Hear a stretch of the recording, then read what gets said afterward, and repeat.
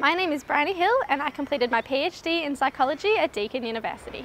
In 2015 I attended the conference for the Australasian Society for Behavioural Health and Medicine and won the Best Student Poster Award for my presentation, demonstrating my skills in effective communication. I visited both France and Austria to represent Deakin at international conferences. I was able to network with colleagues from both Australia and internationally and have developed some lasting connections. In 2015 I was part of a team that visited the Essential Baby Expo as part of the HIP Alliance.